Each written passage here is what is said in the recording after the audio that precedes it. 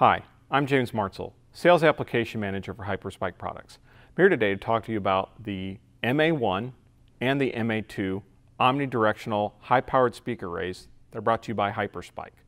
Both of these speakers are the lightest, most powerful speakers on the market. The MA1 speaker is a five-sided speaker that can give you two miles of diameter of coverage, and it only weighs 48 pounds. There's three speakers located here on five sides, giving you a total of 15 speakers. The MA2, which is twice the size of this, can give you approximate coverage of 4 miles diameter. It has 6 speakers high, 5-sided, for a total of 30 speakers. These are the most intelligible long-range speakers with the lightest weight available on the market. I'm here today to walk you through on how to do a demonstration for the MA1 speaker. If you need to do a demonstration for the MA2 speaker, all the steps will be the same, just a different speaker will come with your demonstration. The MA1 demo kit will come in a hardened Pelican transit case. This case is great if you need to ship the speaker through UPS or FedEx, as well as transport the speaker from location to location. Within the case, you're going to find the speaker head itself, the tripod mount adapter, which is seen here, the corresponding crown amplifier, speaker cable to go from the speaker to the amplifier, the associated crown amplifier needed for the demonstration, line-in cable, iPod, iPod charger, power cable for the amplifier. When you're ready for the demonstration of the MA1 or MA2 speaker, ideal mounting height is anywhere from 30 feet to 75 feet. You can place the speaker on top of the tripod right here. If you need to put this in on a lift, make sure you have some secondary fixation to make sure that the speaker will stay in place. On the bottom of this, you will see a cap that you'll have to remove.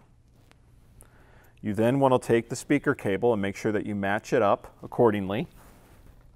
Put it on, and then you will screw it on, and you should feel a little bit of a click. There's also some st speaker strain relief, and make sure that you place it on its side to make sure that the cable does not pull out during the demonstration. Before you power up the amplifier, you want to make sure that both volume knobs are turned all the way to the left. When you're ready to plug everything into the amplifier, first you'll take your power cable, plug it in accordingly. Next, take your speaker cable, plug it into channel 1. Once you place it in, you should be able to, to turn it uh, a quarter turn and feel a click. Next, you'll take your line-in cable, plug it into channel 1, push it in, should feel a click as well. Just double check to make sure that the speaker cable and the line-in cable are both plugged into channel 1. When the crown amplifier is fully powered up, it should say MA-1.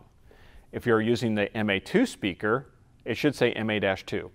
Again, if the crown amplifier is not displaying the appropriate speaker on the screen, please power down the speaker and call Hyperspike Direct at the below number.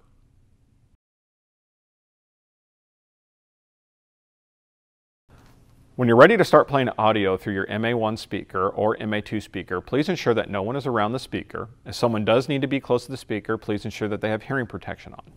You want to make sure that both volume knobs are turned all the way over. Please ensure that the iPod or your smartphone device volume level is at its lowest setting. Plug it in.